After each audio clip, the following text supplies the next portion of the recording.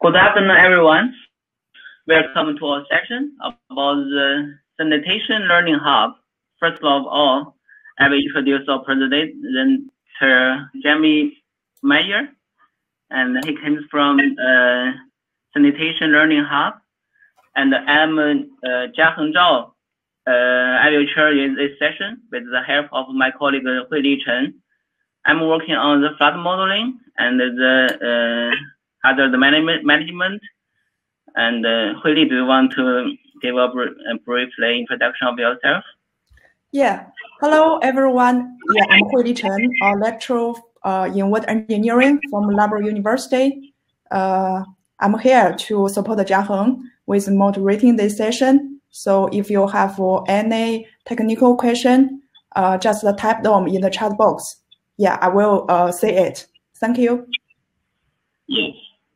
In the presentation, if you have any questions, you can tap into the chat box, or if you uh, want to to have a more interaction way, you can raise your hand after the presentation, and we will give you the uh, chance to speak. Uh, turn on your uh, video, and now I will pass my microphone to our present presenter, and uh, he will do an introduction of himself, and then we will have a video. After that, she, he will share his screen and do the further detailed introduction of her uh, of his work. Okay, please, Jamie. Great. Uh, so, so thank you all for joining. We're, we're quite a small group, which is nice because it means we can keep it quite informal. But uh, my name is Jamie Myers, and I'm the Research and Learning Manager at the Sanitation Learning Hub at the Institute of Development Studies. So I'm I'm treating this session as if we were actually in a conference room, and uh, I had my table with a bunch of publications and flyers, and you were coming to approach my table to find out more about that work. So so let's let's keep let's try to not make it so formal. But yes, we have we have a, a short video which was a piece of which was uh, which was a video we released when we and when we initially launched the program. Uh, I'll then give a brief overview of some of the activities the program engages in, and then I thought I could introduce you to some of our most recent publications, which I which I'm hoping will be relevant for some of your work, and introduce you to our website. So so over let, us start the video. Thank you. And yeah, then we have time for some questions and conversations after.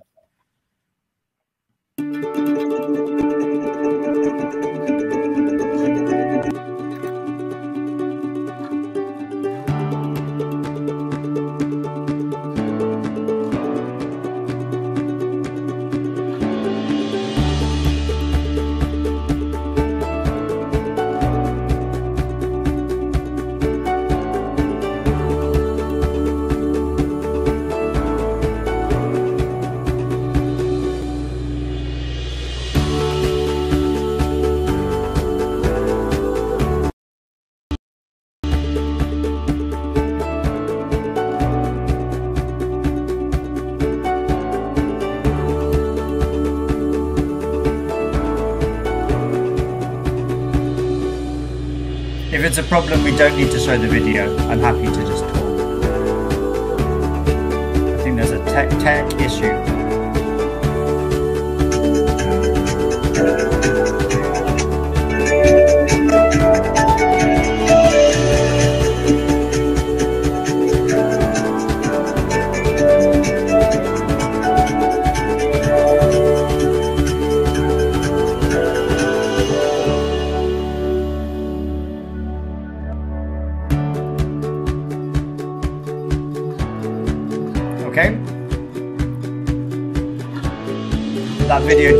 Didn't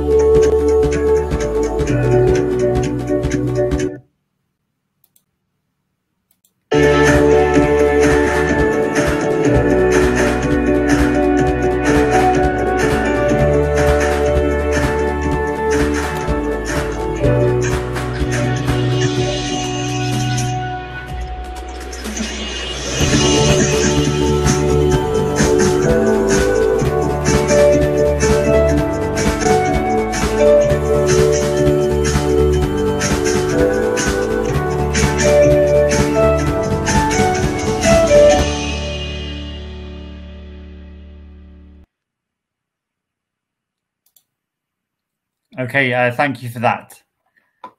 Uh, so you should be able to see my screen now, I think. But as mentioned in the introduction, my name is Jamie Myers and I work for the Sanitation Learning Hub, which is based at the Institute of Development Studies.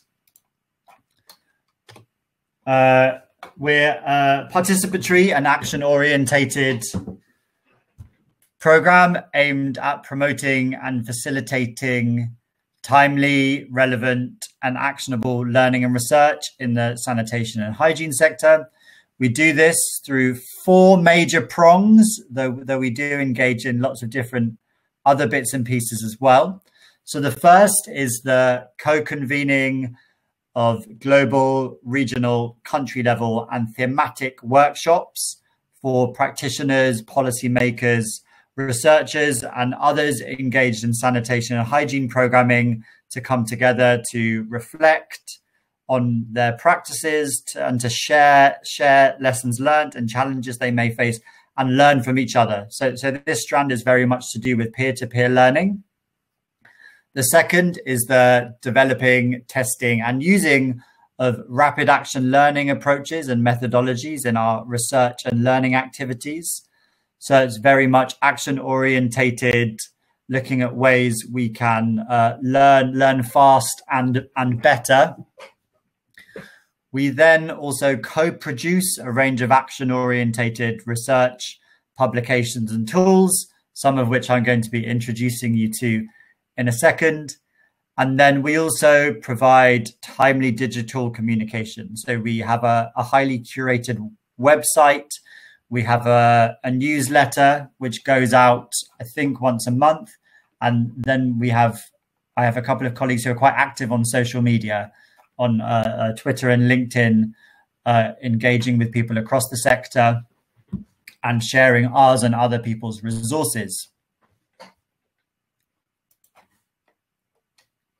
And so I thought I'd now take you through some of our, our most recent publications, which I thought may be, may be of interest to you, and then leave some space for conversation and questions.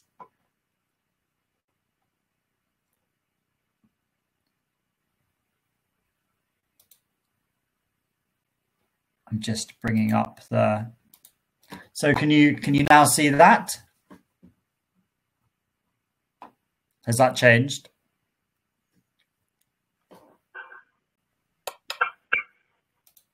Okay, no. Let me see if this works better.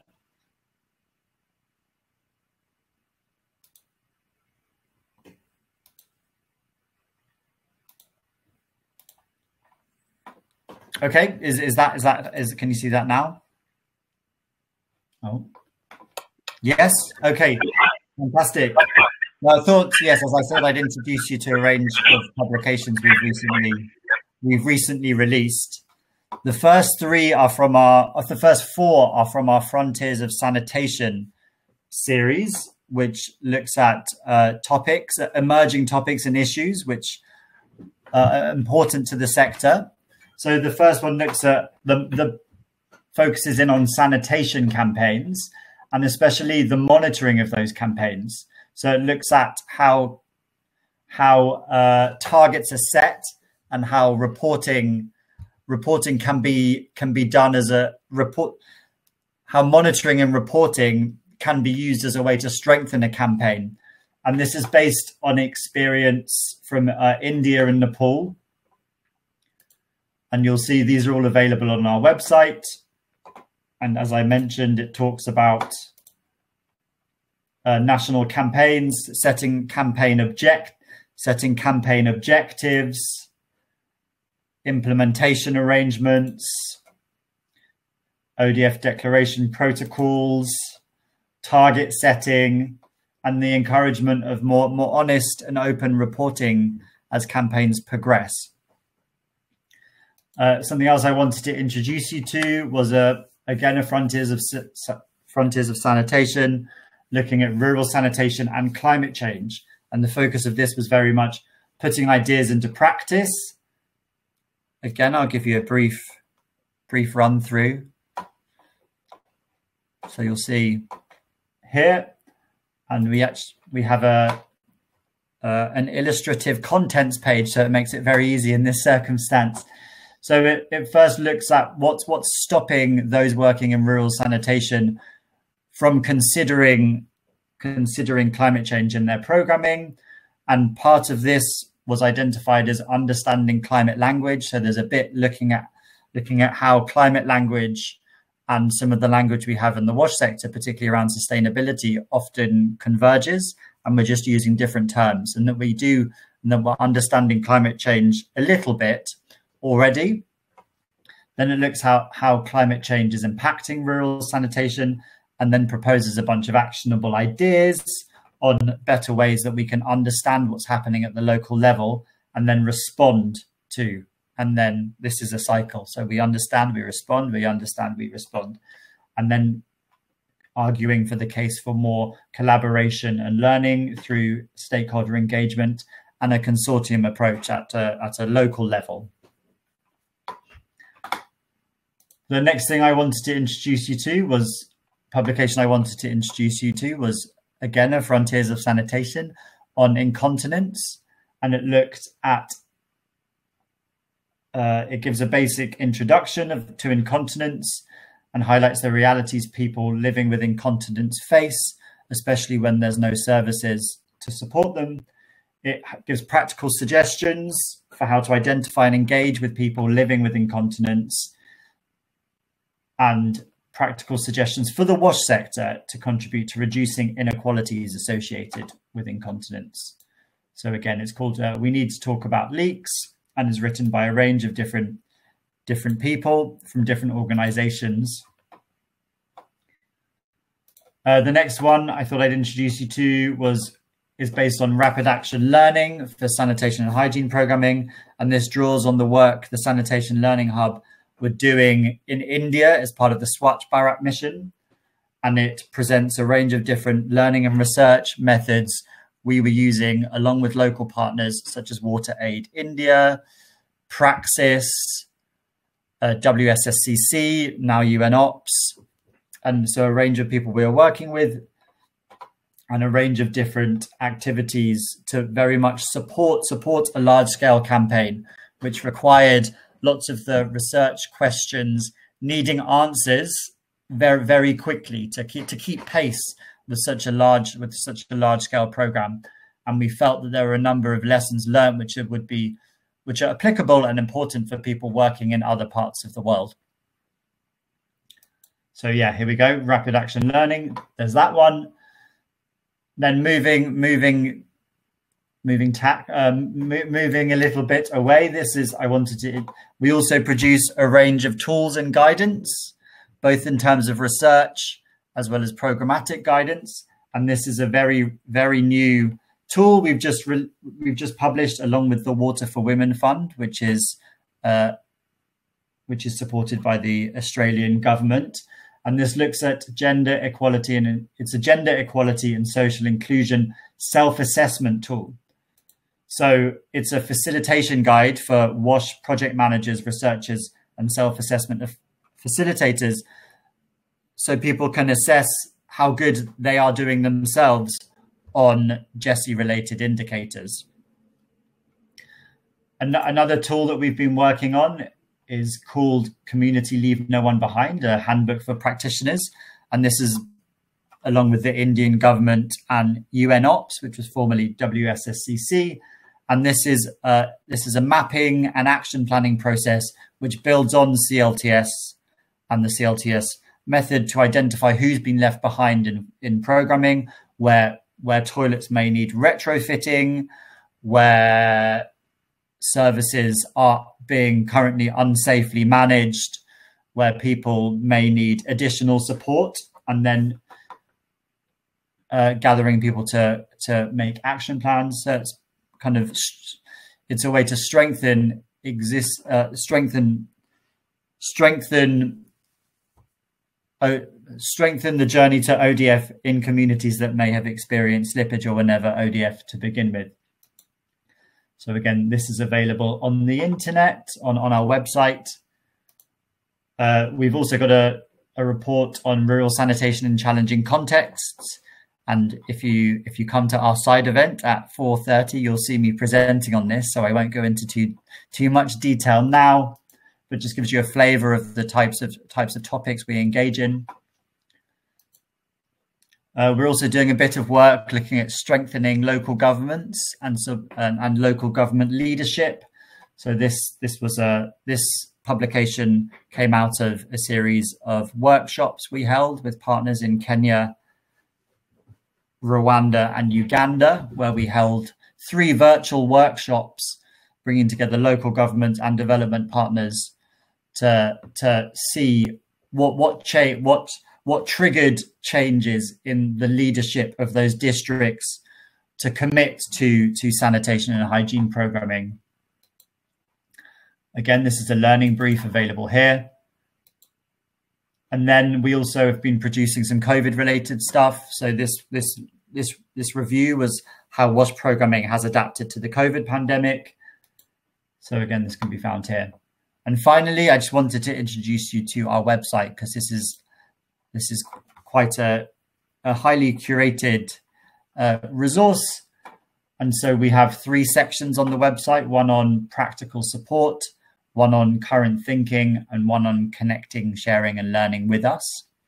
So the practical support page provides a bunch of useful documents, and it's very much a kind of how-to how-to guide. And so we have how to do things, how to do different learning approaches, how to do different sanitation approaches, and covers both rural, so we have community-led approaches, market-based approaches, and financing approaches, as well as urban, where it looks at small town approaches, peri-urban approaches, and city-wide approaches.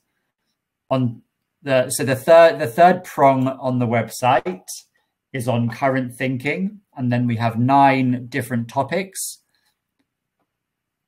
uh, so these range from behavior change to climate change to hygiene to leaving no one behind to gender. And then under each of these, we provide a brief overview of current thinking on that in the sector on that topic. We have recommended resources which which are updated at regular intervals, and we have related sub themes. So if there's a particular sub theme that you're more interested in, you can click here. So to learn more about menstrual health and hygiene, for example, to learn more about sexual and gender minorities. And then there are resources specific to that particular sub theme. Finally, and this is the last, the last bit of my presentation, I promise, is on uh, connecting, sharing, and learning. And this is very much how you can interact act with us as a research program. So we have we have a blog and there is an option to submit a blog. We have lots of different partners from across the world who've written blogs for us with, yeah, who've written blogs. And if you need support, support uh, documenting your story, we're also happy to provide that. Uh, prior prior to the pandemic, we held a lot of workshops, held a lot of face-to-face, peer-to-peer workshops. So those are lots of them are on hold at the moment, but we do we do have some virtual equivalents.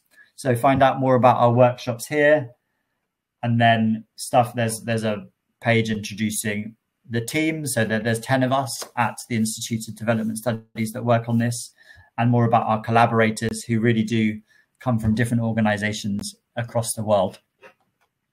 Yes, and then you can sign up to our newsletter we're always we're always looking for more people to sign up. So so please do, and also suggest a resource. So if you see on the website there may be a resource under a particular particular category, which which you know of, or, or something you've written or worked on, please do share it with us. So that was a that's a whistle top stop whistle stop tour of of the sanitation learning hub. But if anyone has any any questions or comments I believe there's a raise hand function, and uh, and you can type things into the chat. Yes. Firstly, Jamie, can you please uh, share the social media page? I think people maybe want to know the how to to further discuss with you, maybe via the social media. Yeah. I, I, I remember that the the the slides there's a page shows the Cool. Yeah. I'll do that now. Thank you for reminding me. That's.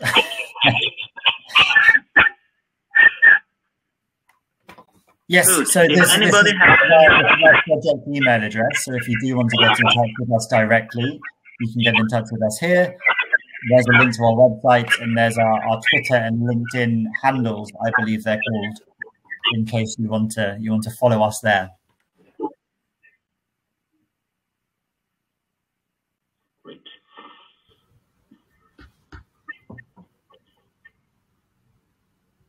Can say there is a question come. Uh, I can see someone typing and we can wait a moment maybe. Okay. How do people share learning? Is it just through your workshop or do you have a platform where people can exchange ideas? Jimmy, can you answer that? Yes, so obviously our project modality has changed significantly in the last 18 months. Uh, so we do we do have uh, virtual workshops on a range of different topics. Sometimes they are they're more closed events because there's particular partners that we're working with, but sometimes they are broader and more open. Uh, we don't have a kind of online forum like the SuSanA Network, mainly because other people are better at that than we are. So we don't want to replicate other people's work. But we but we do engage on that platform as well. And so the past two months or so, we've been hosting something on climate change on the SuSanA Forum. We have kind of shorter webinars where we try to try to make them uh, to provide as much time as possible for people to discuss and share their ideas. And if any, if, you, if you're interested in uh, working with us on uh, different ways that we can do that better, we're always happy to to hear hear ideas and work through things together.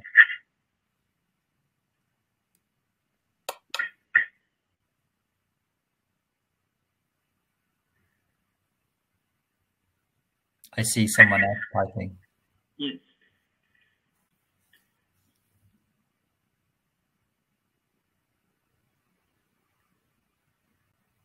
And Jimmy, I want to remind. Okay, uh, we can do the. Ah, Uh, thank you, thank you, Florencia. yeah, so Florencia is someone we've worked with a lot in the past. Who's written a written a really a, a, a few really good blogs for us, and we are always happy to feature blogs by people from uh, across the world. And as I said, we're happy to help you help you shape them and draw out the key messaging.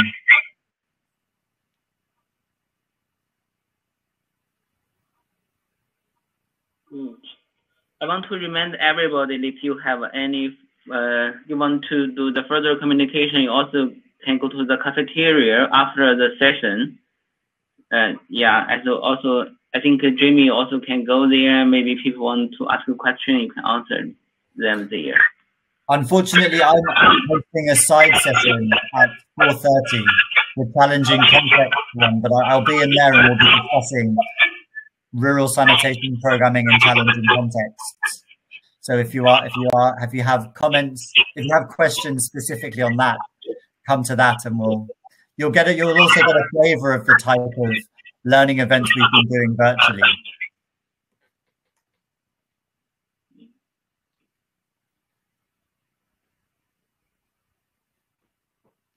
But again, if, if people wanted to send an email or check out the website, and if there are any resources people find particularly useful, we're also happy to discuss getting physical copies sent to people and sent to country. And we have a budget line for that. So if you have, if you're working with partners who you think would be useful to have some of these resources, actual physical copies, if they're local government partners in places with bad internet connection, for example. We also have all most most of the publications are also available in French and in Portuguese. I should have said that initially, but if if if that helps as well. And some of the public we, we are also open to supporting uh, publications into other languages if there is a particular need. So, for example, some publications in the past we've translated into national level languages.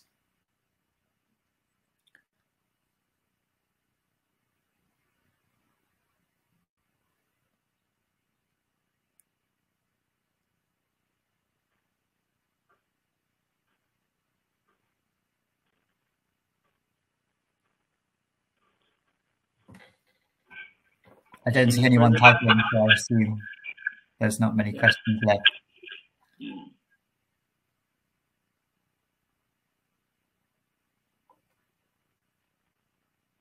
But I hope that was it. That was a useful overview. And, and do please reach out. We'd be happy to answer any questions. Yeah. You can always visit the web page and send your email. I think at least uh, people know this how to communicate with you with this. Yeah.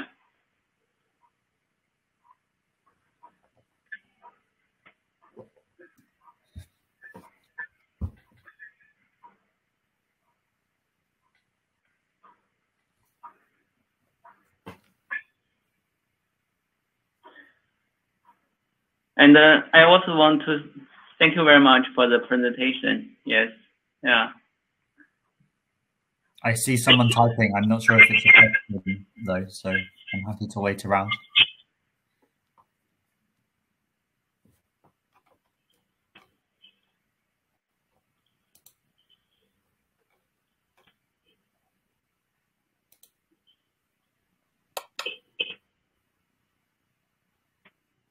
Yes, all publications are free. Sorry, I assume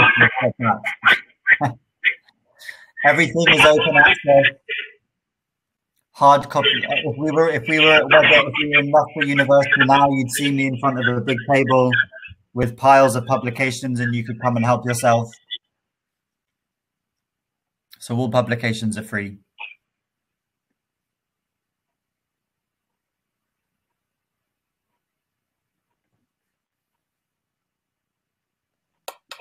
We've we've also produced two books with practical action. One on called uh, called safely managed sanit. I've forgotten what it's called. That's terrible. Sustainable sanitation for all, and the other one which looks at different aspects of sustainability in rural sanitation, and one on adapting community-led sanitation in urban areas and they're available on the Practical Action website, and they're both free of cost as well. Free ebooks are free, so we we don't publish anything which is behind a paywall.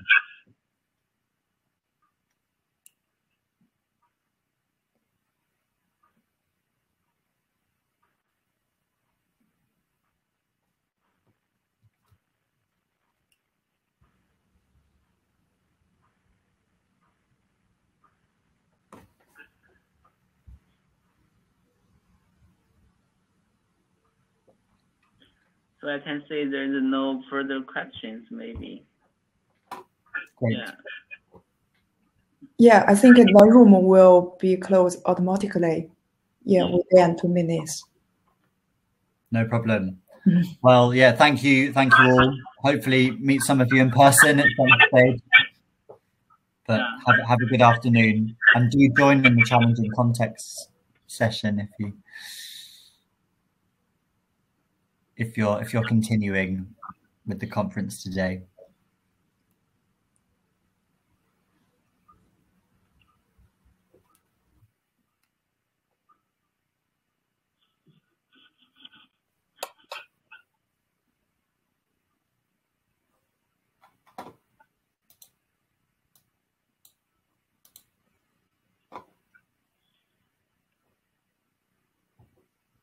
Okay, sh- shall I stop? Shall I stop sharing?